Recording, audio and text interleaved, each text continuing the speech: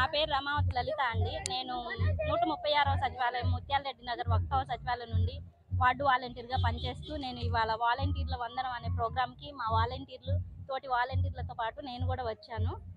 అన్- అయితే ఈ నాలుగు సంవత్సరాల నుండి మేము ఈ నాలుగు సంవత్సరాల నుండి వాలంటీర్గా వర్క్ వర్క్ చేస్తున్నందుకు మేము చాలా ఆనందంగా వ్యక్తపరుస్తున్నాము. ఎందుకంటే మా వంతు మేము చదువుకున్నాము మా వంతు మా కృషి నా మా మా ఏరియాలో ఉన్న వాళ్ళకి మాకు తోచిన సహాయం మేము ఇంత చదువుకున్నాం అంత చదువుకున్నాం అని చెప్పి చెప్పట్లేదు. మాకు తోచిన సహాయం మేము చదువు ద్వారా అది సేవ కల్పించే అవకాశం మాకు జగనన్న ప్రభుత్వం కల్పించింది. జగనన్నకి నిజంగా ధన్యవాదాలు తెలుపుకుంటున్నాను. చాలా చాలా అంటే చాలా ఆనందంగా ఉంది నాకైతే ఈ వాలంటీర్గా వర్క్ చేస్తున్నందుకు ఈ నాలుగు సంవత్సరాల నుండి. శాలరీ విషయం నేను ఐదు సంవత్సరం ఐదు వేల గురించి కాదండి మేము దాని గురించి కాదు తాపత్రయపడేది.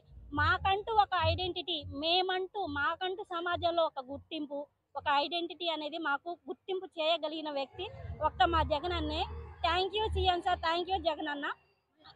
ఇంకొకటి చెప్పాలంటే నేనే ఈ వాలంటీర్ వర్క్ చేసుకుంటూ నేను ఎల్ఎల్బి అనేది కంప్లీట్ చేసుకున్నాను. మాకు జగనన్న విద్యా దీవెన అందింది. ఆ రియంబర్స్మెంట్ ద్వారా నేను కూడా లబ్ధి పొంది నేను నా ఎల్ఎల్బి కోర్సుని నేను కంప్లీట్ చేయగలిగాను. చాలా ఫెసిలిటీస్ చాలా పథకాలు అనేది కల్పించారు మన జగనన్న గారికి. నిజంగా ఇట్లాంటి నాయకుడిని మనం మళ్ళీ మళ్ళీ మళ్ళీ మళ్ళీ రావాలని చెప్పేసి అందరం మా వంతు సహకారం మేమందరినీ మోటివేట్ అనేది చేయడం జరుగుతుంది. Thank you Jagananna thank you CM sir. Sir ఇది చాలా హండ్రెడ్ పర్సెంట్ హండ్రెడ్కి హండ్రెడ్ పర్సెంట్ తప్పు సార్ ఇది. మాట అనడు. తీసుకునే వాళ్ళు తీసుకుంటున్నారు. మాట్లాడే వాళ్ళు మాట్లాడుతున్నారు. తీసుకొని కూడా వాళ్ళు కావాలని ఏదో మనుషుల్ని రెచ్చగొట్టాలని చెప్పేసి మాట్లాడుతున్నారు. కానీ వాళ్ళు అన్ని లబ్ధి పొందుతున్నారు కంపల్సరీ. వాళ్ళు మాట్లాడేవన్నీ వాళ్ళకి తెలుసు వాళ్ళ మనోభావాలకి తెలుసు వాళ్ళ మనసుకు తెలుసు. మనం తీసుకున్నామా లేదా అనేది ఇక్కడ తెలుస్తుంది సార్ వాళ్ళకి. అది వాళ్ళు వాళ్ళంతటా వాళ్ళు బయట చెప్పుకుంటే వాళ్ళని వాళ్ళు తగ్గించుకున్నట్టు అయిపోతుందని చెప్పేసి వాళ్ళు చెప్పుకోరు మా జగనన్న వచ్చినందుకు ఈ ప్రభుత్వం అంతకు ముందు దానికంటే ఇప్పుడున్న దానికంటే చాలా డిఫరెంట్ చాలా డెవలప్ అయింది సార్. అందుకే మళ్ళీ మళ్ళీ మా జగనన్నే రావాలని చెప్పేసి మేమైతే కోరుకుంటున్నాము. మళ్ళీ మళ్ళీ మా జగనన్ననే మేము తెచ్చుకుంటాం సార్. సాయశక్తులైన కృషి చేసి మా అన్నని మేము తెచ్చుకుంటాము. కంపల్సరీ రెండు తెచ్చుకుంటాం వేల సార్ ముందు వాళ్ళు రావాలి కదా సార్.